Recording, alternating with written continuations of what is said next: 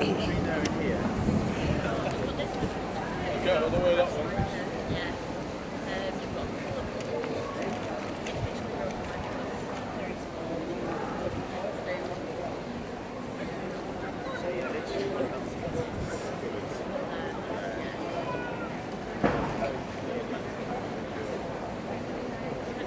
folks, hope you're okay today.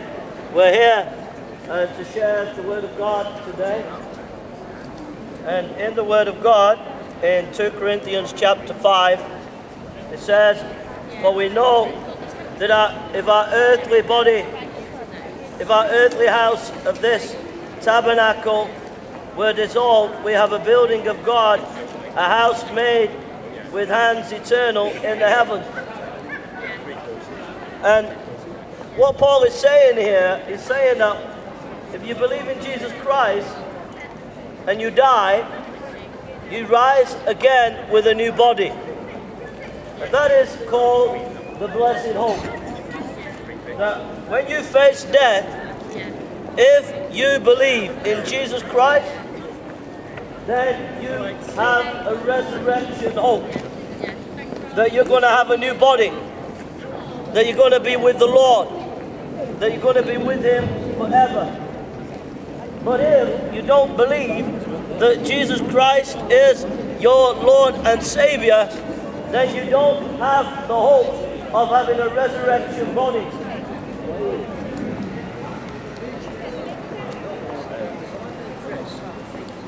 Says, For in this we groan earnestly desiring to be clothed upon with our house which is from heaven.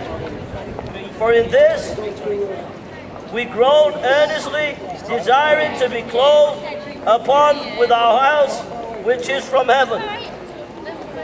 Paul is saying, One day I long, I long, one day I will be with my resurrection body. He's saying, I, I long I long, I groan, he says, I groan that when I die, I will have my resurrection body. So Paul is looking forward to a, a new body in heaven. If so be that being clothed we shall not be found naked.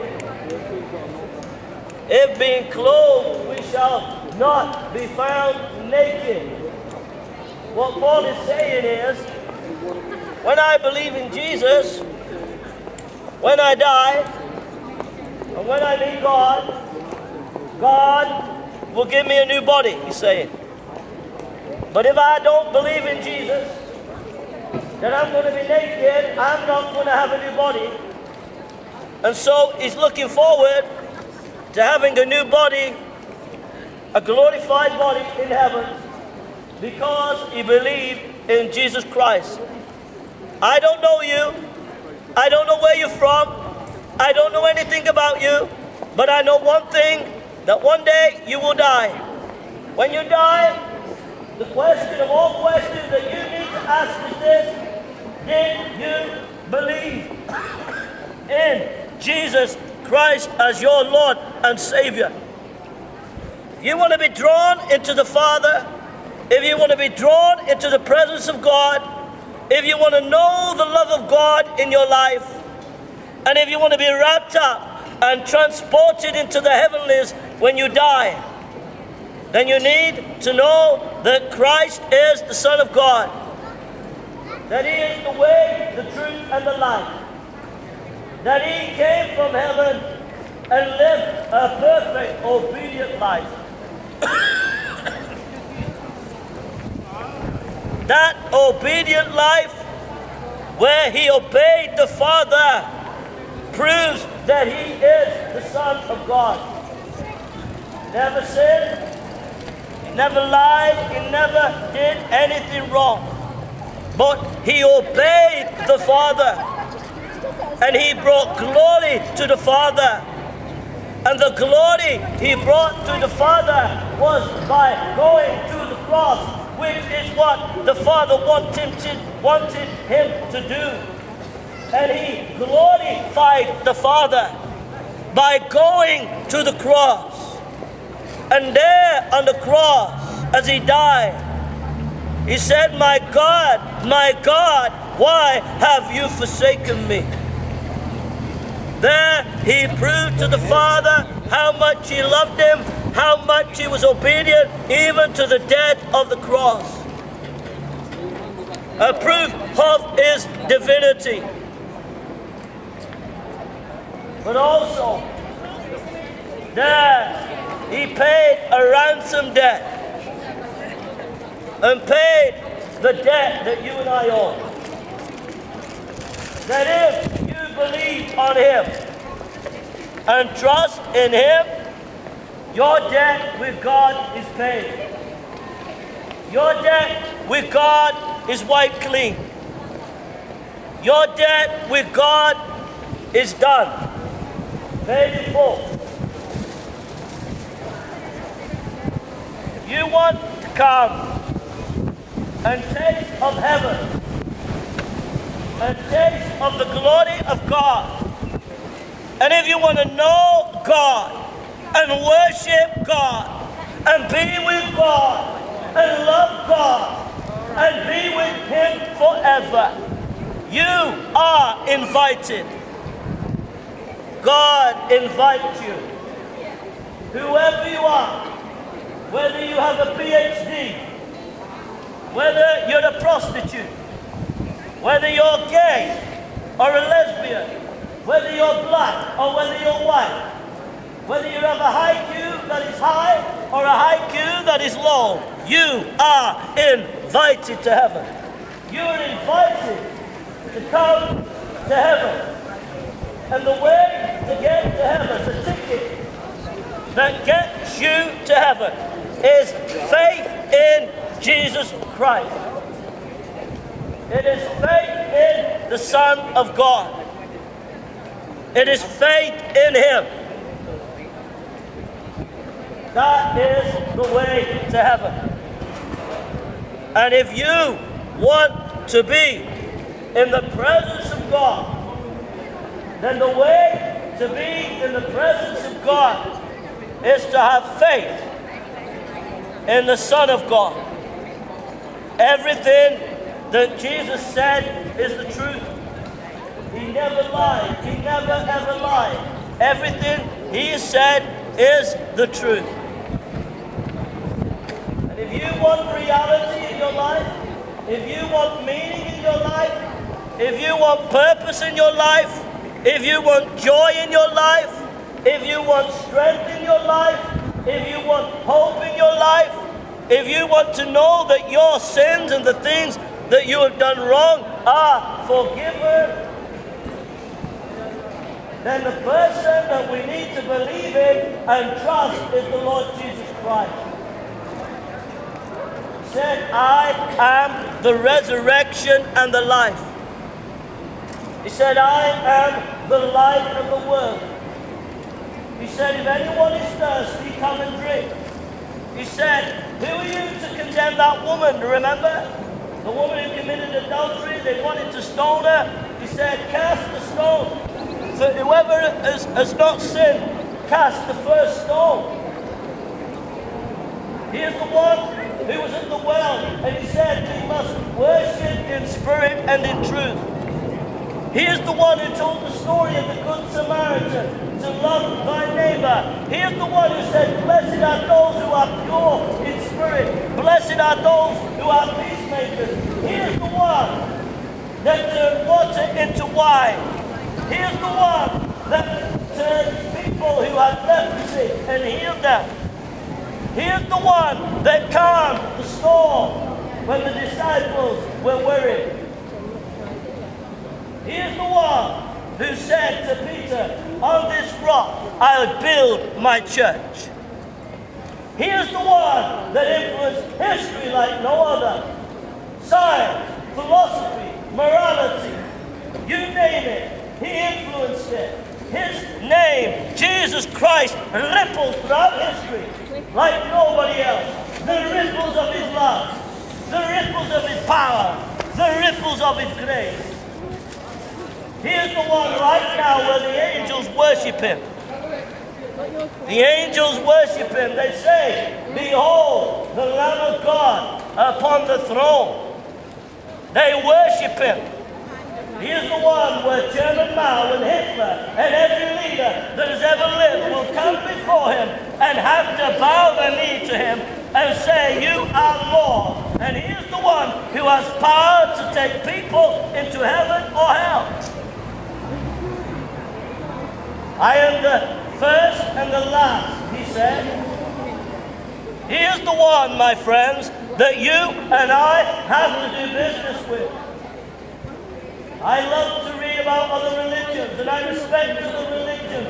I love to read about Islam. I'm reading the Hadith and the Quran. I love to read about Buddhism. I love to read about philosophy. I love to read about novels, the great novelists Dostoevsky and Tolstoy.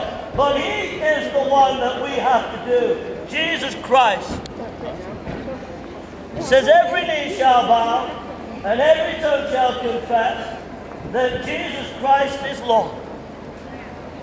And political correctness, all that is around today in this nation with political correctness is the flesh of man. It is man's ideas. Man's ideas. And man's ideas will not last. But he will last.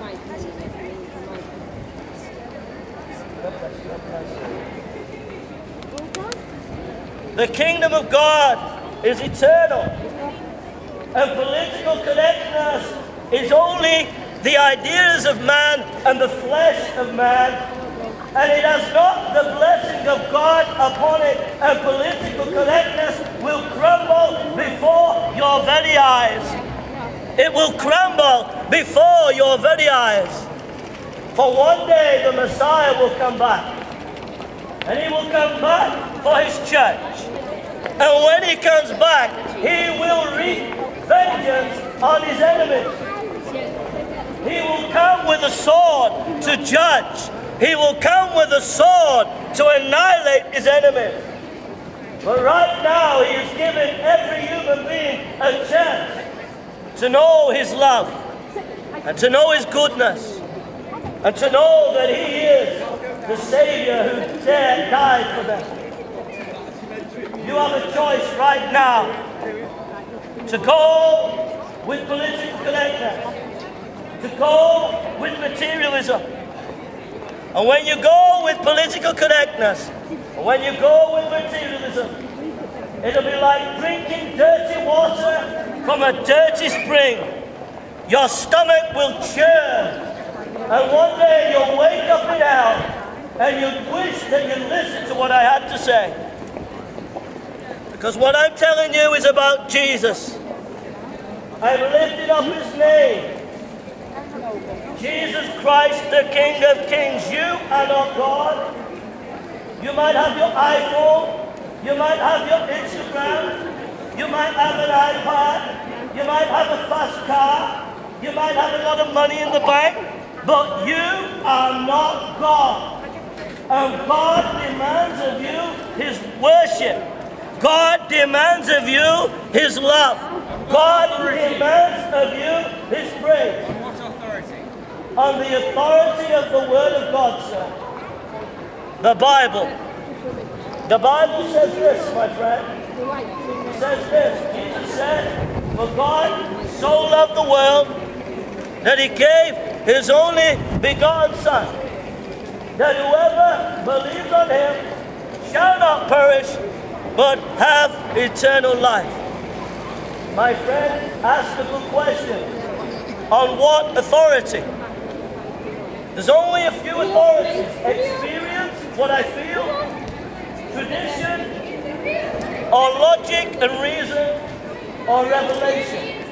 If you go only on reason, you don't even know if reality is real. You don't even know whether the alien is manipulating your brain right now.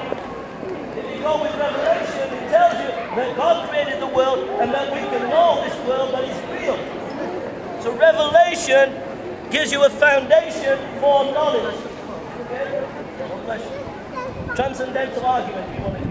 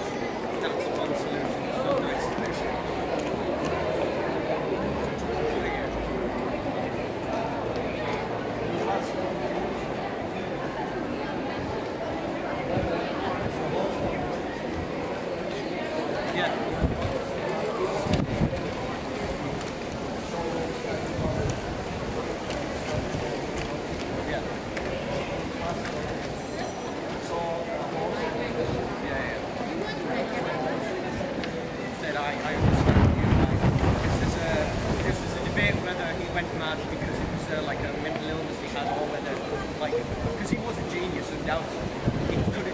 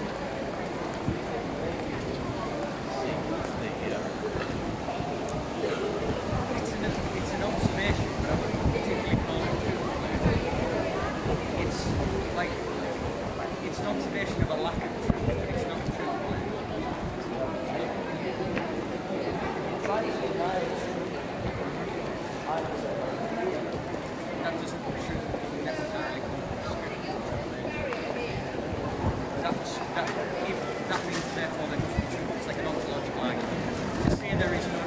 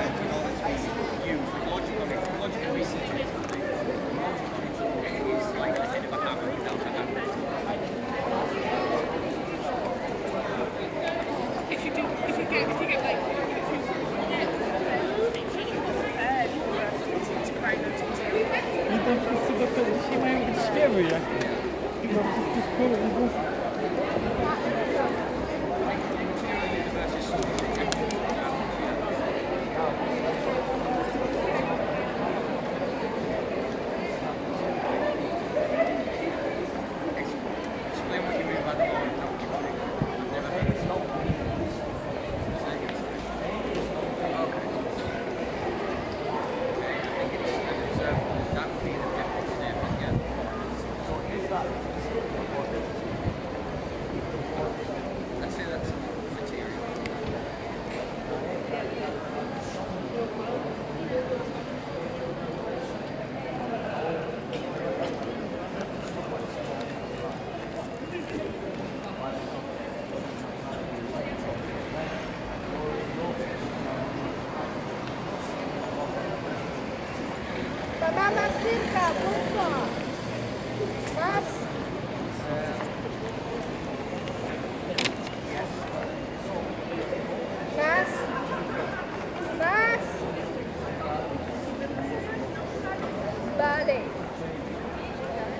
me has hecho la foto?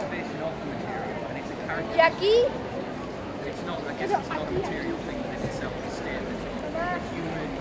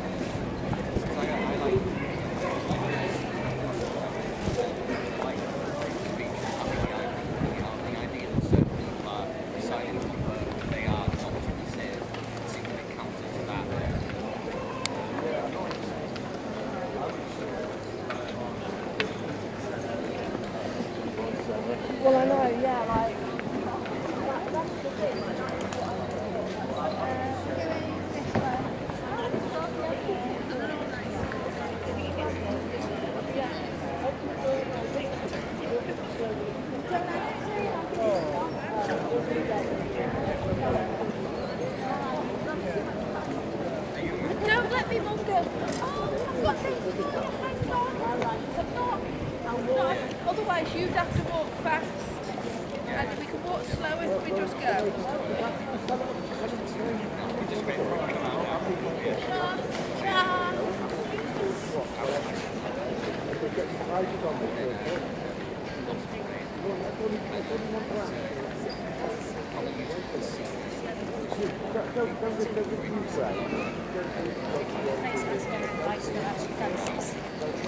they were given a juice but put loads of water in it.